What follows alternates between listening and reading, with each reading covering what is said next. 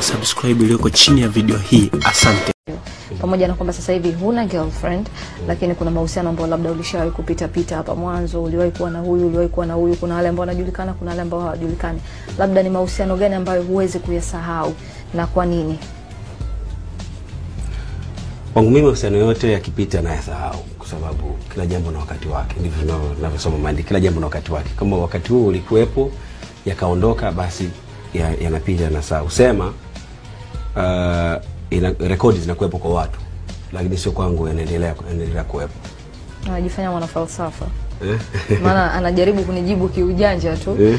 anyway kama ulivyosema kwamba rekodi zinabaki kwa watu Yeah. kuna watu ambao wana rekodi ambayo labda imebaki mpaka sasa hivi Yeah. kuna msichana ambaye ulikuwa na mdate ambaye naye ni celebrity okay fine hatujui mwanzo ulikuwa wapi hatujui baadaye baada ya hapo ulienda wapi? Lakini uhusiano ambao ulikuwa unajulikana ulikuwa wazi na nafikiri hata uliwahi kukiriwa mbele za watu kwamba ya hawa watu wako katika mahusiano. Namzungumzia mtu ambaye anaitwa Wema Sepetu.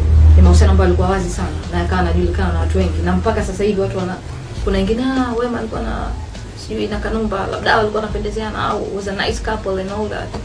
Unayazungumziaje mahusiano yale kabla hatujaenda kwenye vitu vingine ya hayo ni mahusiano kweli yalikuwepo na yaliisha mwaka elfu mbili na nane. Mwaka elfu mbili na nane. Hii ni elfu mbili na kumi na mbili. Kwa hiyo tunaweza kuona ni kipindi kirefu ambacho kimepita. Sema imekuwa kila watu wakizungumzia kidogo wanashindwa yani wanashindwa kuacha hiyo kuzungumzia kitu. Lakini aliisha tangu elfu mbili na nane na na ah, sidhani kama naweza nikamlaumu yeye au yeye akanilaumu mimi bali naweza kusema haikumpendeza Mungu tuwe pamoja.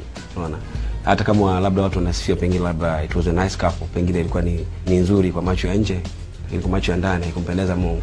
Kwa hiyo yakaisha mwaka 2008 kama kuna kitu chochote ambacho ni kibaya ama kizuri una una unakikumbuka kutoka kwenye yale mahusiano ni kipi? Kama? Kitu kipo chochote. Inaweza ikaa kibaya inaweza ikaa kizuri. Kitu gani kwanza tukianza na kizuri ndio itakuwa ni vizuri zaidi? Ambacho unakikumbuka kule kwenye yale mahusiano. No kizuri ilikuwa ni ile kwa sababu always mwanzo wa mapenzi unakuwa ni ni, ni, ni, ni mtamu kama asali. Kwa ule ndio unaweza kuzungumza ndio uzuri wake kwamba ilikuwa okay watu walikuwa wanapendana maybe tunapendana unajua. Kwa hiyo ule ndio uzuri wenyewe yani ndio maudhui yenyewe mazuri ya ya ya ya, ya mahusiano. Uh, kitu kibaya always huwa ni ending sababu hakuna mahusiano ya mapenzi yanayokatika yakiwa yakakatika vizuri. Always ending ya mapenzi inakuwa ni baya kwa hiyo ndio ubaya wake mengi sana ambayo tunataka kujua kutoka kwake siku hii ya leo ambayo yanamhusu yeye kama yeye lakini zaidi mafanikio yake. Kwa sasa hivi amekuwa ni mtu ambaye naweza nikasema kama mfano wa kuigwa sitaki kurudia hilo nafikiri linajulikana lakini kanumba kama kanumba yeye kama yeye ametokea wapi? Aliwahi kuota kuwa hapa alipo sasa hivi?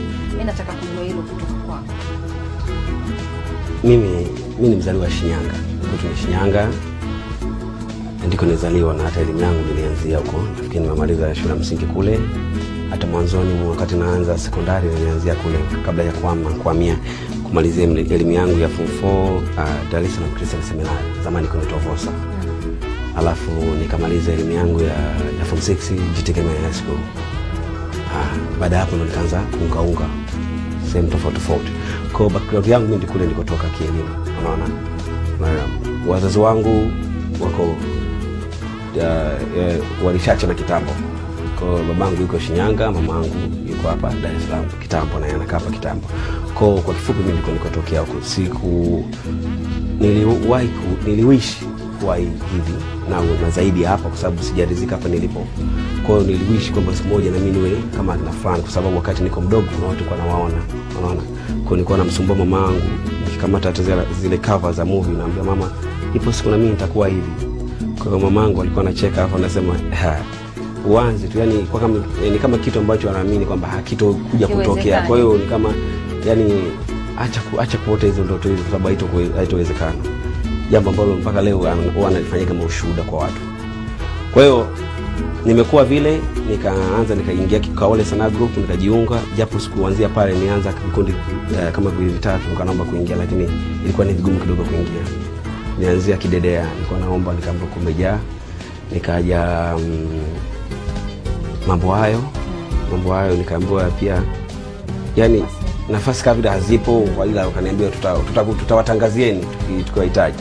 Kwao nikaenda pia kaole nikaenda kaole nikaambiwa kumejaa sasa nikaona kote nimefel ndio nikawa naongea na mzee wangu marehemu mzee kipara na marehemu mzee pwagu. Kaambia tafadhali naomba mnisaidie ndoto zangu zitimie. Kwao nikawaganda sana wale wazee ndio wakasema basi tutakusaidia tutakuwa nakuja tunafanya mazoezi. Mpaka ile asubuhi saa nane unaondoka wanaingia wale wenyewe wenyewe sasa wenyewe ndo wanafanya mazoezi afu mpaka hapo atakapofanyiwa interview tumalizika interview basi tutaangalia namna gani tutakuwa tunakujulisha kadri siku zinavyozidi kwenda. Kwa hiyo nikaanza hivyo hivyo ndo hatimaye nikafanya mazoezi nikafanyiwa interview. Kitu ambacho nashukuru mungu nilikuwa kila interview nafaulu. Na ukumbuka kipindi kile vikundi vya, vya sanaa vilikuwa ndo vyenye ushindani. Na unajua na kulikuwa kuna mastaa wengi wanaigiza. Kupata nafasi ilikuwa ni vigumu. Kupata nafasi ilikuwa ni vigumu. Kwa hiyo ah, ni mungu tu. Kwa hiyo kila interview kwa napita hatimaye basi ndo akaanza kusikika kanumba.